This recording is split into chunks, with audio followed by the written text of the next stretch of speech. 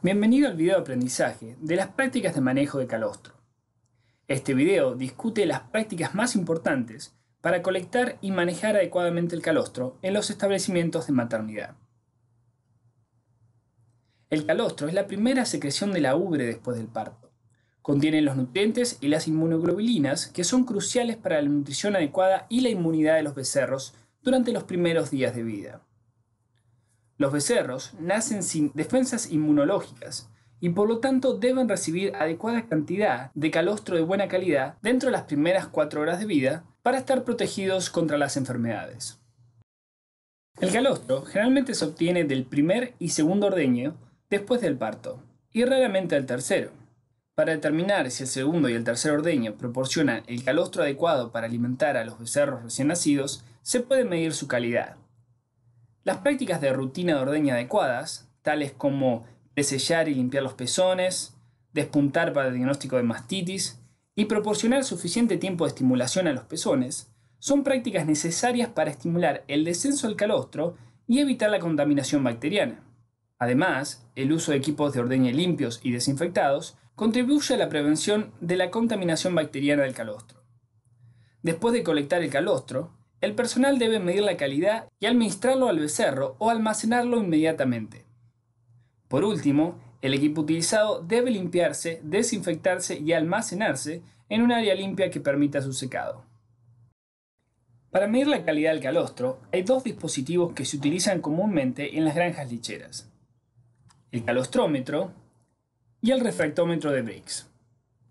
El calostrómetro mide la gravedad específica del calostro está directamente relacionado con la concentración de inmunoglobulinas. Este método es sensible a la temperatura con un rango de temperatura óptima de 102 a 103 grados Fahrenheit. Al medir la calidad del calostro utilizando el calostrómetro, el personal siempre debe asegurarse de que la temperatura del calostro sea adecuada y de llenar el recipiente de recolección hasta la parte superior antes de colocar el dispositivo. El personal debe esperar hasta que el dispositivo deje de moverse y luego leer la calidad del calostro. Este dispositivo tiene una escala de colores compuestas del verde, amarillo y rojo, lo que permite una interpretación rápida de los resultados. En resumen, verde significa que el calostro contiene más de 50 gramos de inmunoglobulina G por litro, que es la calidad necesaria para la primera alimentación de los becerros recién nacidos. Mientras que el amarillo y el rojo significan que el calostro es de mala calidad y no se debe administrar como primera alimentación. Sin embargo, este calostro se puede usar para alimentaciones secundarias y consecutivas. El refractómetro de Briggs no es sensible a la temperatura y proporciona una unidad porcentual para la interpretación de la calidad del calostro. Hay dos tipos de refractómetros que se usan con más frecuencia, los dispositivos digitales y los oculares. La única diferencia entre estos es que el dispositivo digital muestra el resultado en una pantalla mientras que el dispositivo ocular requiere que el personal observe a través del ocular para leer el valor. Independientemente del tipo utilizado, el procedimiento es el mismo. Primero, se deben colocar una o dos gotas de calostro en el sitio de muestra del dispositivo, indicado por las flechas rojas. Luego se debe cerrar la tapa. En el dispositivo ocular el personal podrá leer la calidad de calostro a través del ocular, indicado con la flecha amarilla, mientras que el dispositivo digital mostrará el valor en la pantalla de lectura. Un valor de más del 22% indica que el calostro es de buena calidad. Un valor de entre el 20 al 21,9% indica que el calostro es de calidad regular.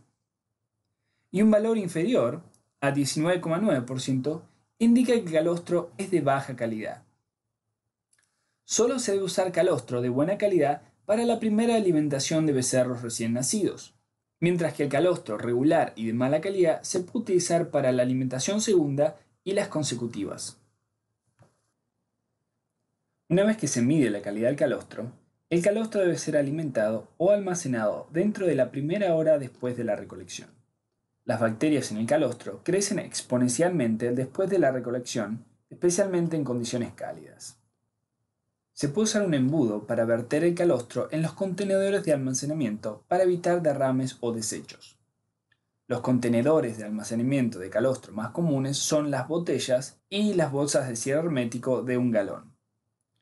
Sin embargo, las bolsas de cierre hermético son menos duraderas y se pueden romper en el congelador o durante el proceso de descongelación.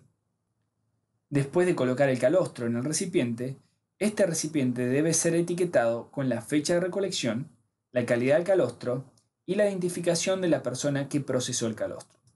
El calostro puede almacenarse en un refrigerador a 40 grados Fahrenheit durante dos días y en un congelador a menos 20 grados Fahrenheit durante seis meses a un año. Los refrigeradores y congeladores deben mantenerse limpios para evitar la contaminación del calostro y el funcionamiento adecuado de estos dispositivos debe monitorearse regularmente, colocando un termómetro dentro de los mismos.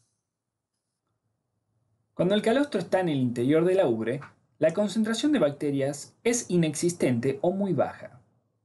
El calostro puede contaminarse durante la colección, principalmente debido a equipos de recolección sucios. La contaminación del calostro disminuye la absorción de inmunoglobulinas por el tracto gastrointestinal del becerro y aumenta el riesgo de enfermedades, tales como diarrea, durante los primeros días de vida. Las prácticas básicas para prevenir la contaminación del calostro son limpieza y desinfección adecuada de los equipos de recolección, excelentes prácticas rutinarias de ordeñe, tales como el presellado, la limpieza y despunte de los pezones, evitar la acumulación de calostro de diferentes madres y el descarte de calostro con mastitis. Otras prácticas más complejas incluyen la pasteurización del calostro y los sustitutos o suplementos de calostro. La pasteurización es el proceso de calentamiento del calostro a altas temperaturas durante un periodo específico de tiempo. La pasteurización no afecta las concentraciones de inmunoglobulinas ni las características físicas del calostro y reduce la concentración de patógenos. Sin embargo, este equipo es costoso y requiere un mantenimiento regular. Hay dos productos disponibles comercialmente que se pueden usar como una alternativa o complemento del calostro. El sustituto de calostro se puede utilizar para reemplazar el calostro natural, asegurando una excelente calidad de inmunoglobulinas y nutrientes, pero implica un costo adicional para la granja. Puede ser beneficioso para controlar enfermedades que se pueden transmitir de la madre al becerro, como por ejemplo la paratuberculosis, y cuando hay escasez de calostro en la granja. El suplemento de calostro es más barato que el sustituto, pero no se puede usar para reemplazar el calostro materno principalmente porque contiene menos de 50 gramos de inmunoglobulina G por dosis. Sin embargo, puede usarse para la segunda alimentación, lo que permite al personal reservar el calostro de buena calidad para la primera alimentación de los becerros. Además, puede usarse para mejorar la calidad de calostro materno deficiente. Muchas gracias por su atención y si tienen alguna pregunta, por favor no duden en contactarnos. Para aprender más sobre las prácticas correctas de manejo de registros en las operaciones de maternidad, mire el siguiente módulo de la serie de videos de aprendizaje de prácticas de manejo en el área de maternidad.